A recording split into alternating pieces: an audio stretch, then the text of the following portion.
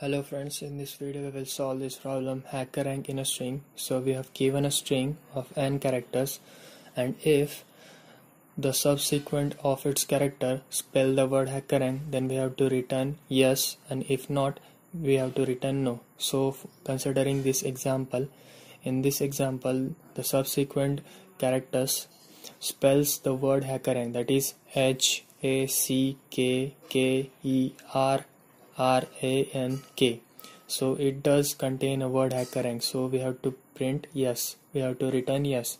And in this second example it is containing the word hacker but it is not containing the word rank because there is only one letter R. So if here there are two R's then it does this second example also does contain the word HackerRank so in this case it does not contain so we have to return no. So considering this example in this example the word C comes before the the letter C comes before the letter A. So after H A there is no C. So the hacker word is not completing here so we have to return no. So as you can see from the example the let letters has to come subsequently to complete the word HackerRank so we will just jump to the function to complete the function.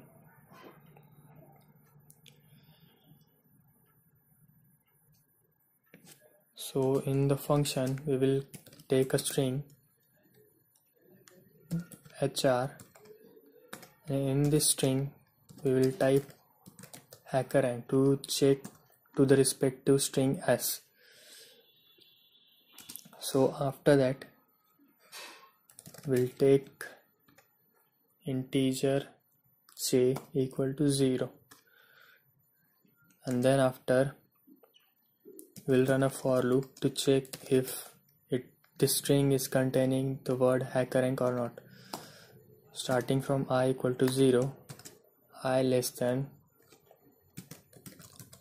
strlen of uh, s i plus plus.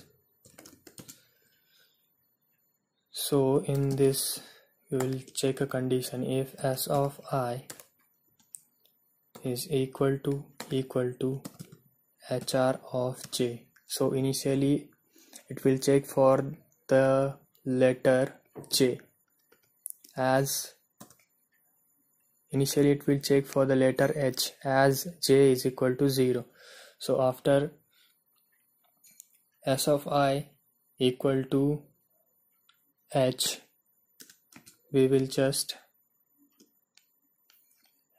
increment our j so this loop will run till the s strlen of s that is string length of s so after completion of this loop we will check the value of j. If j is equal to equal to strlen of hr so if this condition is satisfying then we have to return yes. So if j is equal to the length of hr that is it uh, j reach to the point to the length of hr that is it contains all the letters in HackerRank so we have to return yes. Otherwise we have to return no. So this is the function. We will just submit our code run our code first. So first two test cases are passed we will submit our code so all the test cases are passed. So if you want more videos on HackerRank solutions please subscribe to my channel. And you can watch other solution in my HackerRank playlist. Thank you for watching